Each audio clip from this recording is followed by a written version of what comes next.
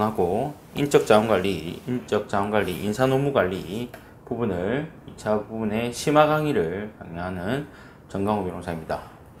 기본 강의를 통해서 여러분하고 여기 있는 책, 예, 저랑 함께 했던 그 전수환 강사님 책, 인사노무 관리 부분을 했고, 심화 강의 부분도 이제 교재 부분에 대한 문의도 많으셨는데, 저는, 음, 이거는 뭐 강사님들마다 생각들이 다 다르실 수도 있습니다. 이거는. 그러나 저는 개인적으로 기본 강의든 심화 강의든 마무리 강의든 책이 여러 권이면 힘들지 않겠나. 그래서 저는 한 권으로 단권화하는 것이 맞지 않겠나 싶어서 저는 이거 계속 한 권으로 써왔습니다.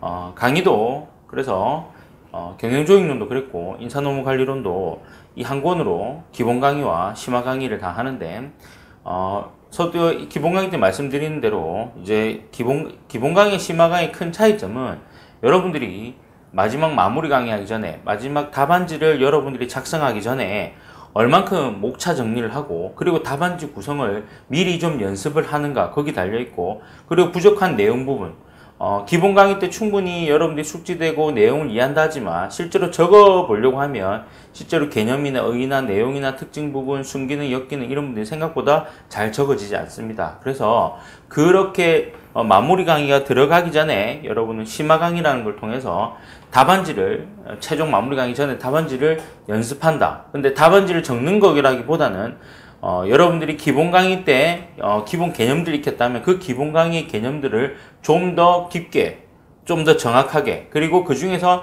답안지 쓸 만큼의 내용을 정리해 둔다. 마무리 강의 전에 정리해 둔다. 이렇게 생각하시면 될 것 같습니다.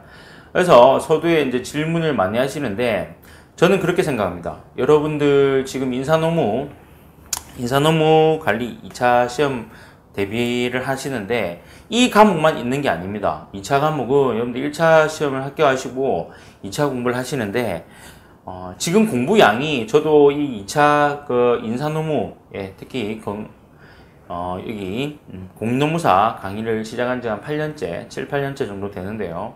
전신 박사님하고 이렇게 팀을 이뤄서 강의를 계속하고 있으면서 계속 느끼는 점은 뭐냐면 점점 더 여러분들이 수험생분들이 공부해야 될 양이 많아진다. 처음에 강의했을 때보다 지금 훨씬 더 뭐 두 배 이상 많아지고 있습니다. 그런 추세에서 어, 여러분들이 한 권의 책이 아니라 여러 한 과목조차도 여러 권의 책으로 공부를 해야 된다면 마지막 날 마지막 해독 정말 내일이 마지막 해독이 시험 전날 시험 전 해독일 때 여러분들이 무엇으로 여러분들이 마지막 정리를 하는가를 항상 기본 강의 처음에 책을 샀을 때부터 제가 고민을 하라고 여러분들에게 몇 번 말씀을 드렸습니다.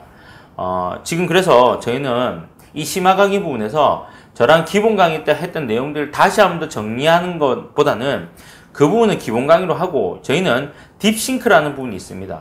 전수환 강사님 책에 딥싱크라는 부분이 있는데 그 부분이 아마 기본 강의에서 다뤄졌던 부분들도 내용이 녹아져 들어가고 또한 거기서 기본 강의에서 좀 더 심화된 말 그대로 기본 강의를 좀 더 정확하게 좀 더 구체적으로 서술해 놓은 부분이 그 책에서 딥싱크라는 부분입니다. 그 부분에 대한 문제를 여러분들 고민하고 강의를 하면서 기본적인 내용 부분에 대한 좀 더 정확한 지식 그리고 여러분들이 마무리 강의 때 하기 위해서 마무리 강의에 들어가기 전에 마지막 목차 정리와 그런 내용 정리 부분을 한다고 생각하시면 됩니다.